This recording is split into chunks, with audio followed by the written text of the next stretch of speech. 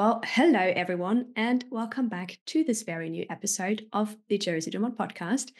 I'm your coach and host, Josi, and today I'm joined by a fellow podcaster, but also ex executive who turned leadership coach, Shar Banerjee. Welcome to the pod. So good to be here, Josi. I'm so happy to have you. Like, honestly, I can't wait to dive into this conversation with you because not only obviously do you have like a hell of a lot of experience in the leadership space, but you must also know all of the best books thanks to your podcast that will help some of the listeners to become a better leader. So I will definitely ask you for some recommendations to add onto my reading list as well. But before we dive in, I'd love to hear your side of the story. Like, how did you turn leadership coach? What is your journey that got you to where we are today? Yeah. Uh, so, great question. I started my career in the consulting world and I spent my time doing that and being entrepreneurial in a consulting world. I didn't realize that I had an affinity to creating and pulling mm-hmm. things together and building things from scratch. And, you know, like there were some hints, but I wasn't paying attention. Um, and so I started paying more attention to what drove me and what got me excited. And so that's when I got myself into the startup world, into building and growing. Um, and I was responsible for revenue. And so in my previous experience, I was the head of sales at a company that grew very quickly. And in my time there, I talked a lot about revenue right? As as you do with numbers and growth and projections like the bottom line was always on everybody's mind. Mm-hmm. but the secret that i got to was that behind revenue were people. And when i spent my time developing people and really getting into the nooks and crannies of what brings people's best traits forward and how can they really like shine with their full resonance that's when the consequence of all of that work resulted in the revenue and so I realized that there was this discrepancy between what everybody wants to talk about and what they should be or they need to talk about, you know, in order mm-hmm. to serve that. And so, you know, I did that and it was, I did that really, really well for a very long time.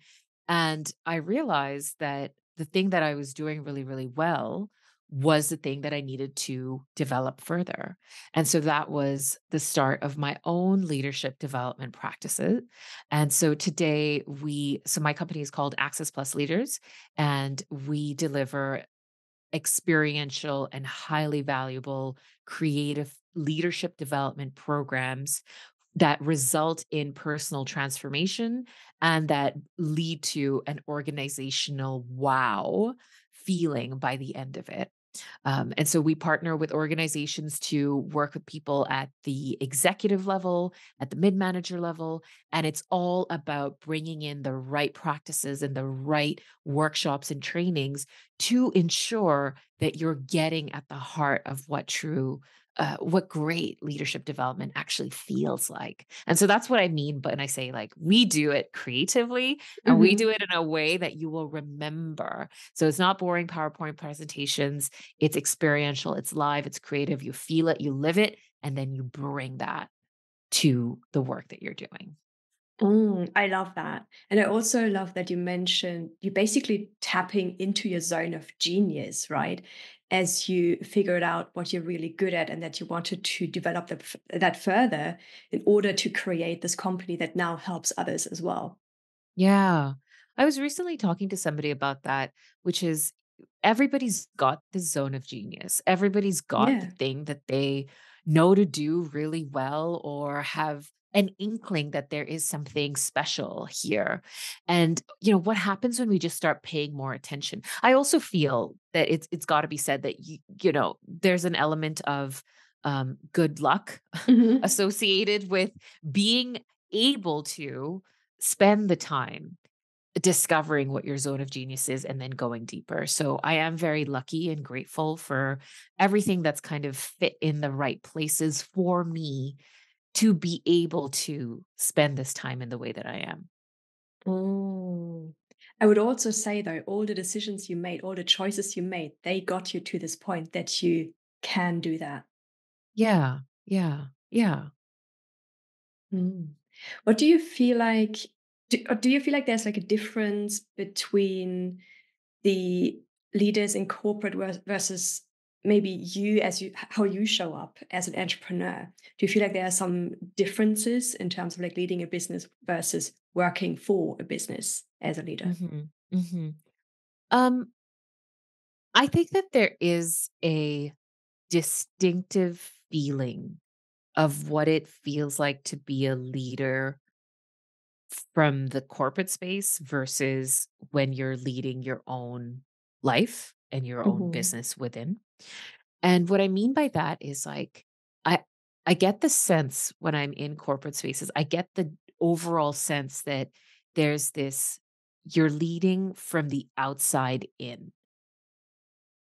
but there are all these mm. rules and these beliefs that everyone else holds true that you then try to adopt and then make it work for you within. So that's what I mean about you lead from the outside in. hmm And that's distinctively different from when you are building your own thing and you're doing it by yourself. I feel like there is this push and this call to lead from inside out.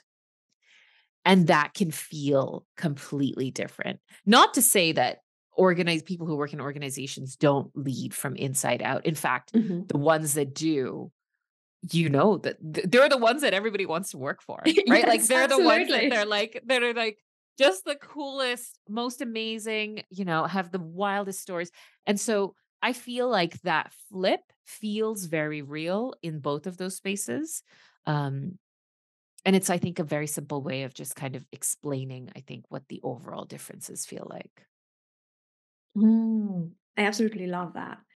I mean, obviously, you already mentioned that it's those people you want to follow who are leading from the inside out, also in Yeah. corporates, right? Those are the ones who are authentic, that are true to themselves, to their values, who tap into their own zone of genius, and who do not conform actually everything that everybody else is telling them to do so.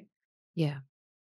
How would you describe maybe that balance act actually of being authentic and leading from inside out versus having maybe even that pressure or that culture in that company that you are working for that might force you almost to conform into something you're not.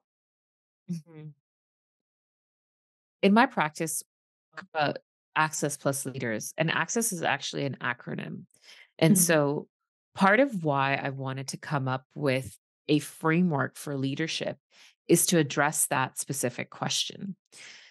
Before I got into the development of this company, I ran a big R&D project and I interviewed a lot of people with the end goal of understanding what do others understand about leadership. And the answers were wild, Yeah. you know. The, yeah, and so the questions that I would ask is like, you know, what's leadership to you? Like how would you define it? Um there was a big percentage of the participants who said, "Ooh, can we come back to that question?" Mhm. Like, can you ask me after? Like, let's go. Let's let's answer a- an easier question. Um, some refused to answer completely, and uh, and then and then for another large majority of people, leadership was all about the person in power. I have to listen to my boss, and Mm. therefore they are the leader. So it was it was very interesting to me the uh, misunderstanding and the misconception of what leadership is and where you stand relative to this bubble called leadership. And so I want to dive into what Access Plus actually stands for, and it Mhm. represents this framework for leadership. Um, and it stands for adaptability, i.e., you know, how we shift and move Mhm. relative to the spaces that we occupy. Because you can't be the one person to everybody at all times. Like it, it you know, in relationship to people, adaptability is crucial. In relationship to problems, adaptability is essential. So adaptability at large becomes this very important core tenet of of really great leaders. The second one is on communication. So A C C Mm. E S S plus um, communication essential essential to be able to communicate not just words i feel like that's another common misunderstanding of like a leader is somebody who can speak really well and they can give direction yes and the listening yes Oh, and yes. the silence yes and the body language right like there's so much about communication that is unseen, unheard that also needs to be studied. And so communication is essential. Then the next C is about confidence. Um, and you know, the the confidence with which you exude decisions that need to be made or indecisions, right? Like that's the other thing about confidence isn't I know everything at all times. Yeah, confidence is also I'm not sure how this is going to go, yes but I trust. I trust who I'm gonna be. I trust the you. I trust the relationship that we get. Like, I know with clarity and confidence that we will figure it out and that I may not have the answers. And I know that that's not what you're looking for. So, confidence. The E is all on execution because at the end of the day, it's lofty goals or uh, dreams that don't get realized, but execution is really where rubber hits the road and you can get 100%. out of yeah totally right? So execution's um essential.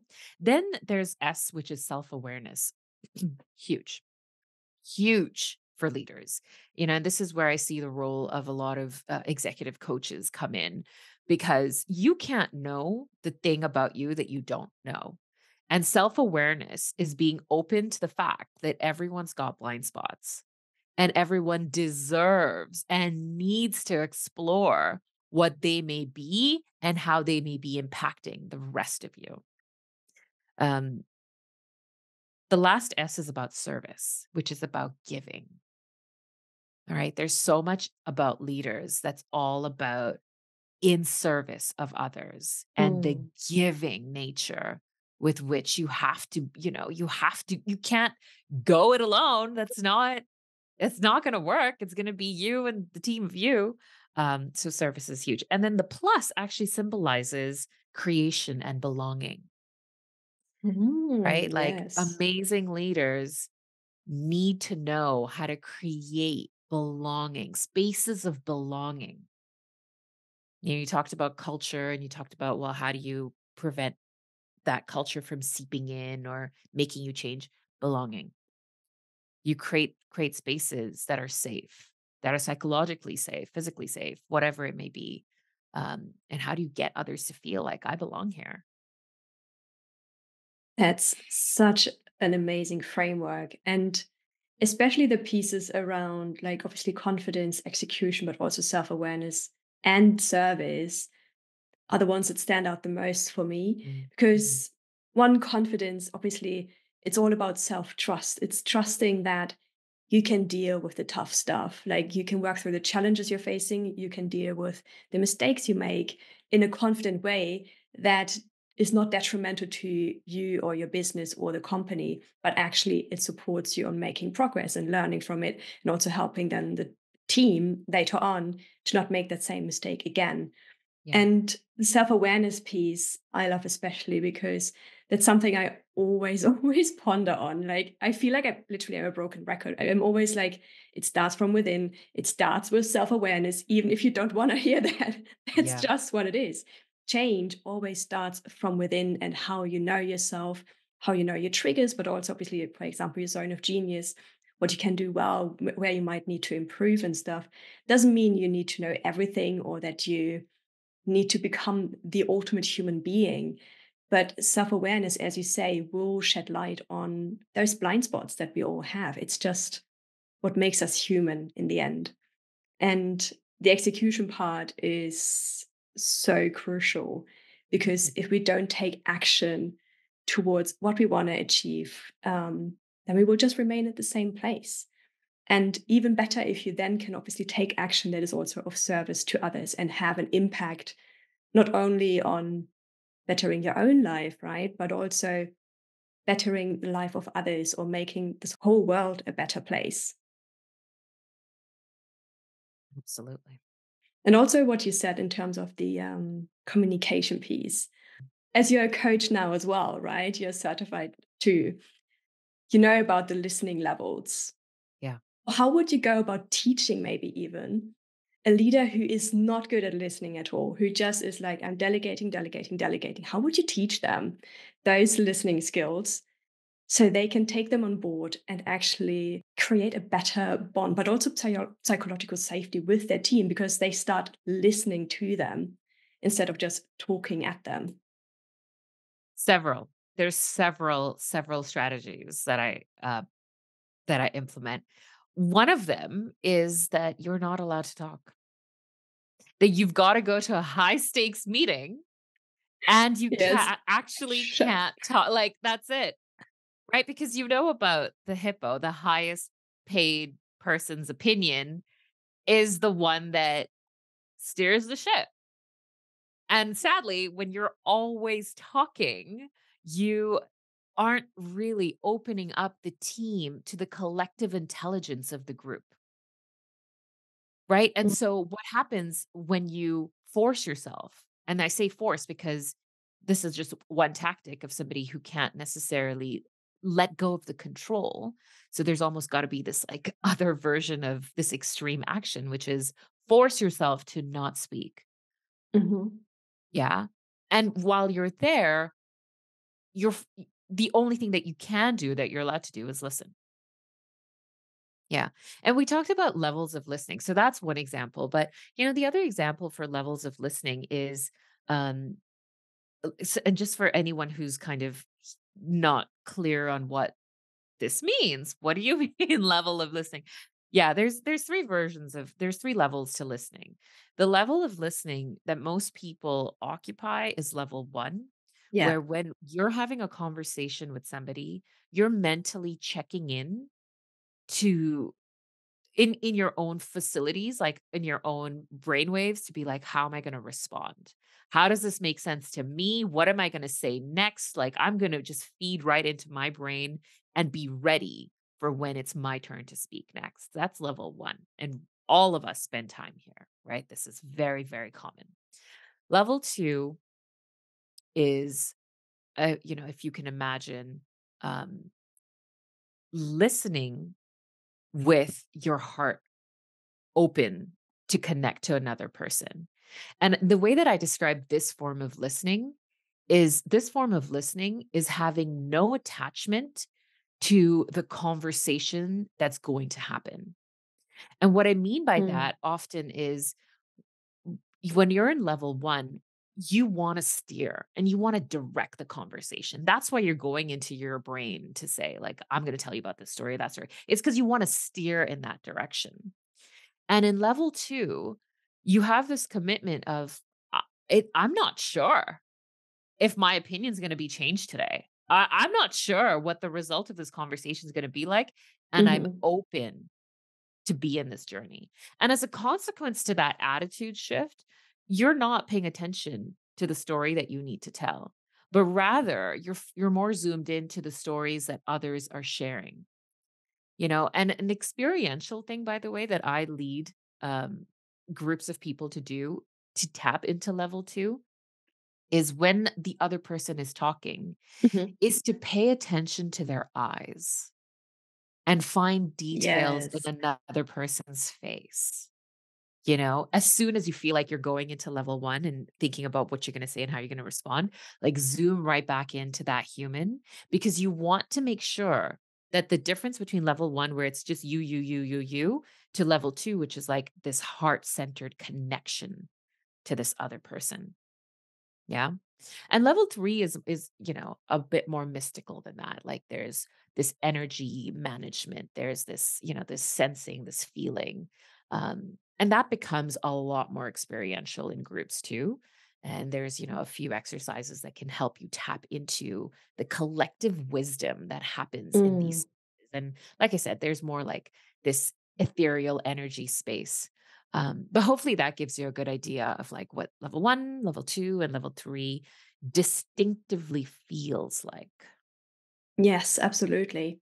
And I, I heard like the other day, a tip for level two listening Yeah. is to obviously not like obsessively, but to try count how often the other person is blinking Oh. or to be like super aware of like how how often the other person is blinking just so you really stay focused on them their facial expressions and like what's going on as well but obviously not to a degree where you just like Yeah, yeah, are you yeah, yeah. blinking now I think I think the essence of level 2 is what happens if you're just more curious about the other person. yes And I think that's what these techniques about like look into the eyes and count the number of blinks.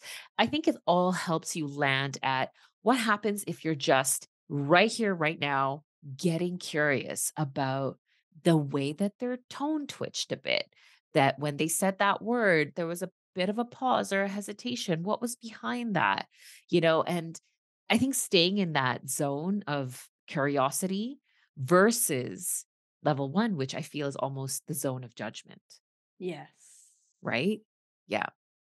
yes totally agree um what i also wanted to add on to the third level is to take into account surroundings of the other Mhm. person because everything like especially i feel like in the zoom world right in this virtual world this is even more important because we only see like this little square but even with this little square there's like so much going on for the other person so for you you have the dog in your background maybe she's barking or like something else is happening right and that might distract you but in that moment it can also offer other insights or uh, other perspectives and messages Absolutely. Yeah. Great, great addition on the surroundings and including the surroundings of the other person.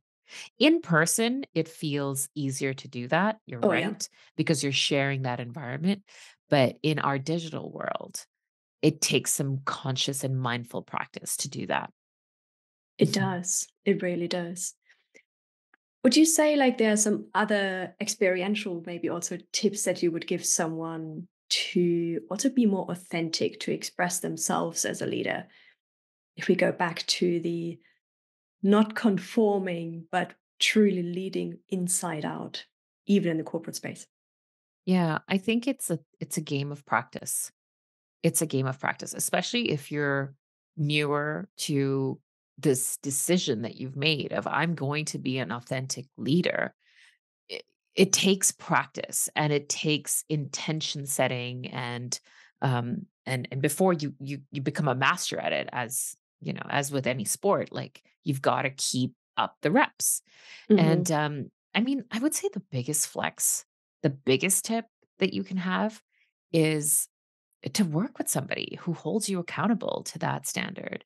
And this is why I think working with leadership coaches and executive coaches are like the game change. You know, you can you can visibly see the difference of a leader who's not had any coach and then Mm. starts working with a coach. You can see the shift in energy, dynamics, intention, power. There is truly transformation that is visible because you're not just kind of like gradually ch- this is like step level ch- increment like not incremental but like big step change of differences that you see as humans explore what growth and transformation and their own authentic voice can feel like as they work with a leadership coach so that would be the biggest one, hmm Josi. And then, I mean, there's there's several that, you know, keep everything alive. Eh, That's another way I Mm. like to say it hmm is like, you know, you do this work and you self-discover, but there's also ways in which you keep it alive. Um, the thing that I was talking about at the start of this conversation, which is how is it to lead from inside out? I would say that that's the aliveness of the inside is the practice that you've got to make sure you're not overlooking. Um, Mm. you know, and these I, I've seen people do it in several different ways. Like there is the good morning mirror technique where you're brushing your teeth and you look at yourself in the mirror and you say out loud who it is that you want to be today. Oh, I love that. You say out loud, you see yourself saying it, you hear your own voice, And to me, this is like a different version of visualization that's so practical and grounded and so real in the consequences of what happens after. And then there are others who like journaling or typing. And I Me. I say, yeah, yeah, typing is a big one. So, like, that's another way in which you're making conscious decisions every Mhm. single day that remind you of the the work that you're keeping alive. And work with a coach. I would say that would be those would be my my. 3.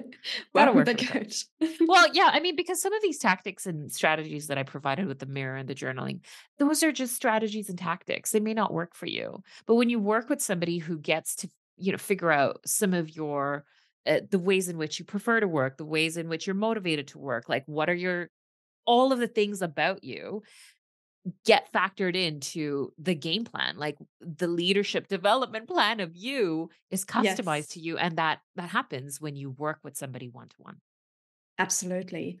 I actually have like such a beautiful story with a client as well, where she came in and she was like, she wants to know how she can show up as a as a leader, how she can show up authentically. And she had no clue as to what her leadership style was. And when we start, started talking about it, at first she was literally like, she was literally slouching.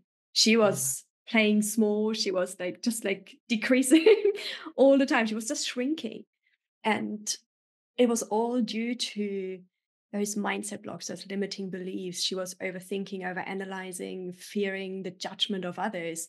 And as we worked through it and she managed to like release them through coaching, she then suddenly like grew taller again and like way more confident. She started to like radiate incredible energy. And we then talked through how she actually does want to show up as a leader. And we listed all those qualities and we listed all the examples where she already like had these qualities as well in her life. Uh, yeah, yeah, where she was already doing that, I mean. But then also to find action steps where she can continue getting this proof of she actually is already the leader she is biased to be. And I also love how you describe that part with the visualization thing, because that might not work for everybody. And for her, what actually did work was to just have like an orange flower as a reminder. And that's now like stuck to her laptop every day. So she can see it every day as a visual reminder of how she wants to show up as a leader. Mhm. And yeah, as you say, like working with a coach, it can really just shed the light on those things where you might be holding yourself back and create that self awareness with the mirror. Like we literally hold just the mirror up and be like, this is you, this is what yeah you're doing, let's change it up. And to have someone also to hold that holds you accountable to get there. Like you're not alone in all of this. And that's why I feel like this profession as a leadership coach is so, so, so important because it not only affects the leader or the person, but also their employees, their team, and everything else. absolutely. I love the orange flower visual. Um there's several examples of what people can do. I've seen specific rings. Yes. bracelets. Uh there there was one talk of a tattoo right and so like these are like visual cue Yep. reminders um but it may not work for you like and and there's and there's like a million others That's so true. Actually, I have like loads of tattoos as reminders. oh nice for several things. oh we should get into that after oh, yeah, yeah, definitely. Like some of them are also Harry Potter inspired, but that's then for your podcast.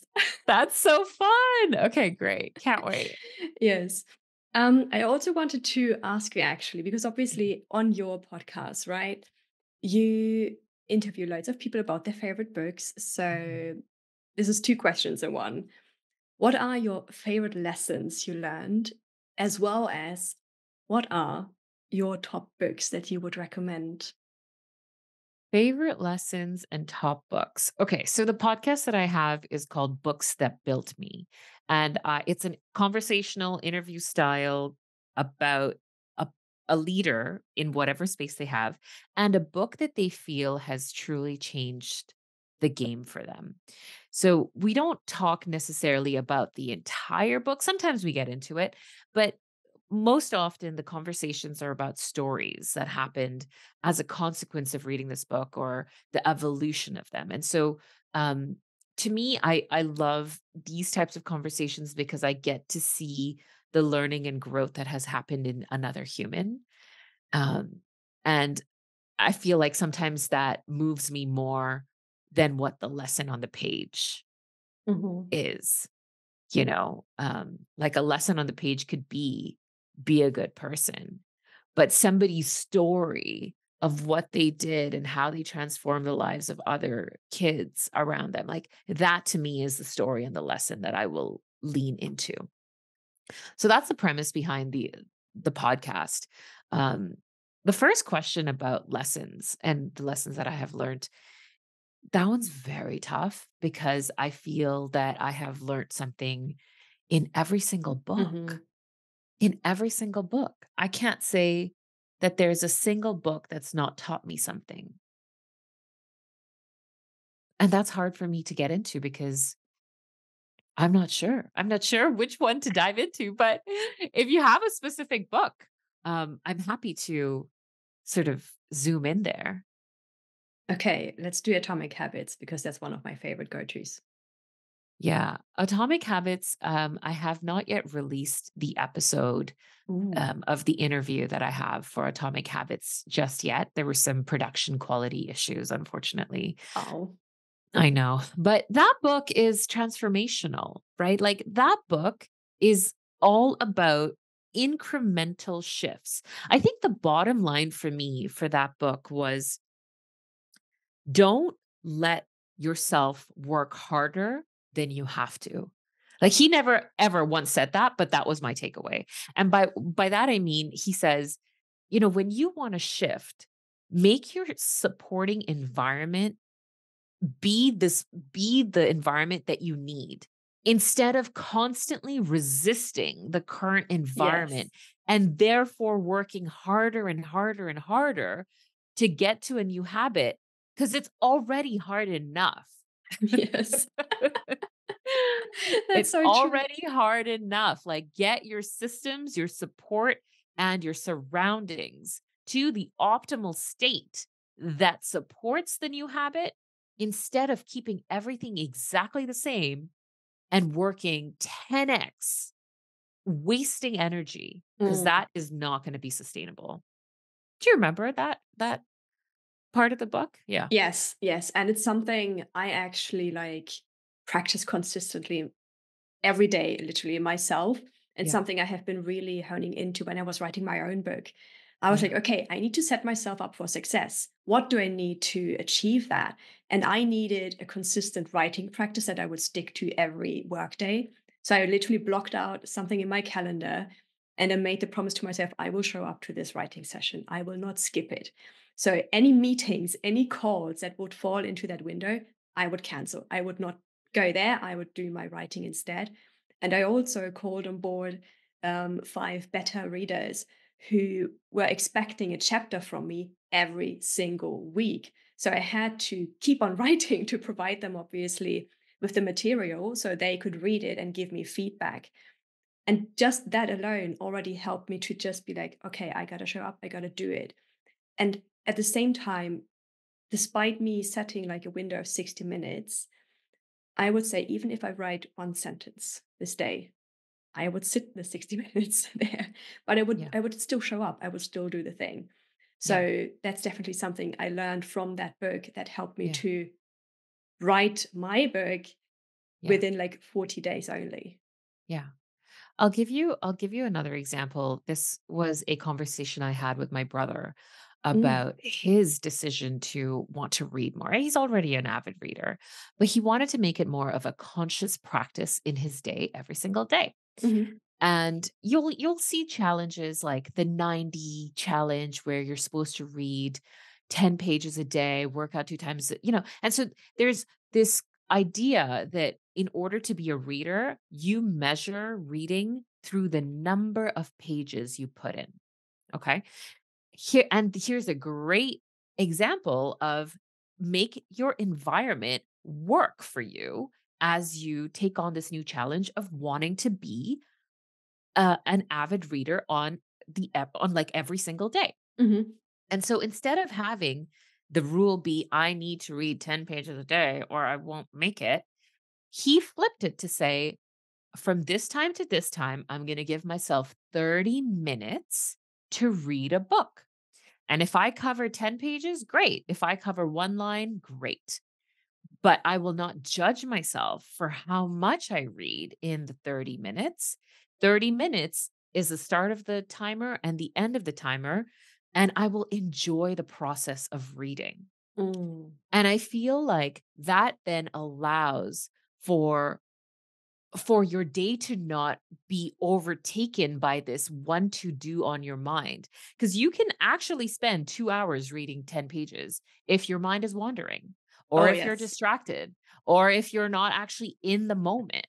And so that is actually not a good use of time more than I'm going to do what I can do, being fully present for 30 minutes and see what that and see what happens there. And then whatever happens, I get to close my book and call myself a reader. Exactly. I get to call myself a reader.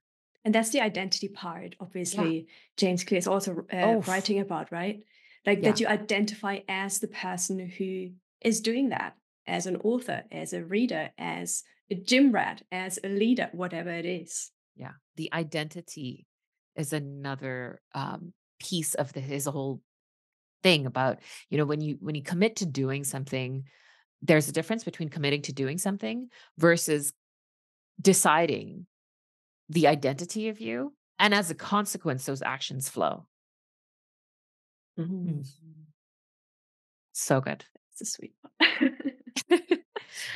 Your second question was about the books that I would recommend. So before we hit record, I had to go over to my little library there and Mhm. really think about which ones I wanted to I wanted to share with everybody. So I, I landed on three that I think Mhm. are are game changing. And this is for the answer to this question is about these are the books that will help you become a better leader. Okay. So the first one that I have is uh, The Four Agreements. The Four Mm. Agreements. This is by Don Miguel Ruiz. And um, this book I read in an afternoon and proceeded to send it to people that I love. Oh, really? It's transformational. Transformational. We talked about um, we talked about identity and we talked about decisions that you make as a consequence of identity. This book taps into that in a Yeah. really big way. Yeah. Um, so I will leave that with you. The Four Agreements, Don Miguel Ruiz. The second one that I have is um, Mindset by Mm. Carol Dweck. Have you have you read this one? I haven't read it yet. It's on my list, actually. Yeah. I've read it many times now. And every time I read it, I'm reminded of a new lesson. And it, you know, uh, I mean, the book, the title gives it away, right? It's like this, the human psychology. Um, how can we live our full to our fullest potential by switching up the way that we think? Um, growth mindset versus fixed mindset. And the examples in this book make it more, I think, more tangible Mm. More um, for you, more relatable. Absolutely. So, and by the way, like this is not just for people in the business world. If you're a parent, this is huge for if you're a teacher or if you're a kid in a schooling system, you'll see so many of these examples make so much sense. And then relationships too. So mindset's a big one. Um, and then the last book that I have here on leadership, I mean, I kind of talked about my framework and how execution is is so key. I feel like this book, I come Ooh. back to it. I come Yeah. back to it often. It's the Four Disciplines of Execution um, by Sean Covey, and um, it is a game change when it comes to thinking about what goals get met versus what goals don't.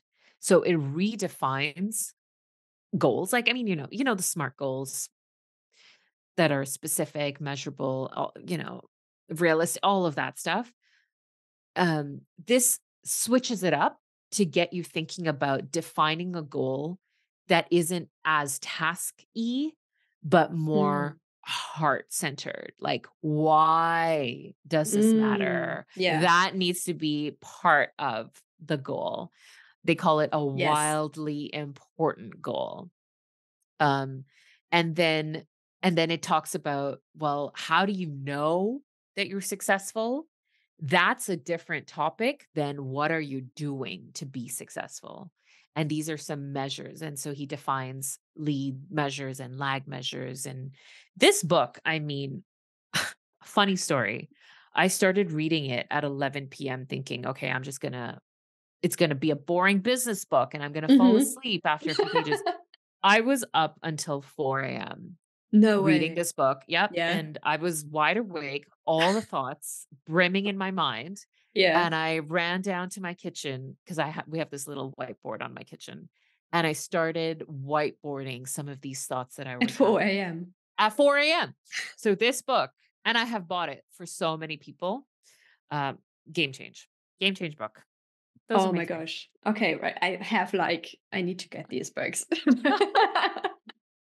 Especially the first one. I've literally never heard of it. The other Oh two I have heard of, but not the four agreements. So I need to I need to get like a big order for Amazon. I I interviewed somebody um about this book on my Mhm. podcast and my guest has purchased this book so many times that he was blacklisted from Amazon. No Yeah. way. I'm I'm not joking. So and he I think he said like 200 plus times. What? Yeah. Yeah, this is To a give to others. to gift to others. Holy. You know, you know a book is good If you when gift it. if you gift it. Exactly. Yeah. That's so true. Oh my gosh. Okay. Literally, uh, right after this episode, I will go to Amazon and order that book. You'll read it in no time. It's such a quick read and it's like it changes. It changes things. I love that. Oh I gosh. I actually can't have wait. it. I actually have it written down on my wall Yeah. as a reminder to me. Yeah, yeah, yeah. It's a good book. I love that. Oh my gosh, I love that so much.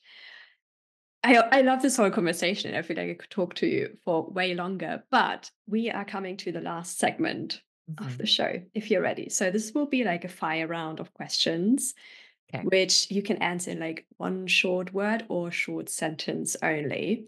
Okay. But before we do so, please tell me a number between one to ten. Oh, five. Okay, I will ask you five questions. Oh my gosh, that's what this is about. okay, let's do it. Let's do it. Okay, so first question What is the Shar way of living and leading your best life? Mm, The Shar way. Oh, I can't have so many words. Got it. Gratitude and love. I love that. Gratitude and love. Okay, question number two. When shit hits the fan, what do you tell yourself to get through it? Snap out of it. Mm. What is your key habit for success? Reflection. Very good. Uh, what advice would you love to give the listeners About what? about anything? Show your love more unapologetically. That's a good one. Mm. What is the theme song of your life? Oh gosh.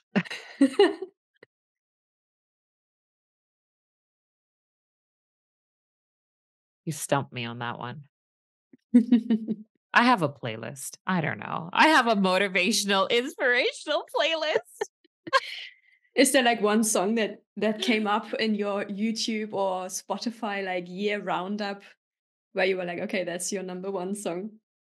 Oh gosh. You really got me on that one. I don't know. I'm a cra- I'm a crazy EDM person. So I listen to uh, el- electronic dance music and I listen to remixes. So to me, I feel like that just marries high energy music with like some soulful love. You know, it just, yeah, Mm. it just makes me groove. But I can't tell you one song, sadly. That's so okay. Actually, I'm like Okay. I'm like the same because I one I never remember the names of the artists, nor do I remember the name of the songs. I'm like, if I play it, I know it. Yes. You know, Maya Angelou says the same thing. Like, you will not remember what people say or what you will remember how they make you feel. And I feel the same way about music. yes, I'm always that person, like, let's Shazam that because I want to remember it, but I won't remember the title or the name. But when I hear it, I'm t- I'm transported to a feeling. yes, exactly. It's it's the exact same thing for me. That's so funny. Thank you so much for, first of all, powering through the questions. I think you have been the first person so far who literally nailed most of them with just one word, word or short sentence. I thought I that was the game. yeah, yeah, but most people are like going on a tangent. They're like, I'm so sorry. Like, I couldn't do it in one word, or short sentence. And I'm like, that's okay. You just did it your way. I actually really loved the challenge of using only a few words. It's fun. Right? It's pretty good because Yeah. it really gets you thinking. It's like, okay, what is the one thing actually? Yeah. Yeah. Yeah. Love that. Thank you so much for sharing your wisdom today, for sharing your expertise. And also, I just want to point out to all the listeners obviously, I will put all your contact details into the description box. So do head over and show Shar some love and connect with her and say hi. Tell her what you learned in the in the episode. I'm sure you would love to hear that too. And Absolutely. do, do, do, do, yeah, I think that wraps up the episode, unless you have any like last words from your side to share. Just a big thank you to you, Josi. This was a fun conversation, and you have this great energy and spirit. And it felt like we could keep talking for another hour, actually. So, thank you for having me. Thank you for being so warm and just so welcoming. It was great to be with you. Thank you so much. It was literally the honor is all mine. It was such a pleasure. And yeah, to all the listeners again, like I see you next week with another episode and have a great day. See you soon. Bye. Bye.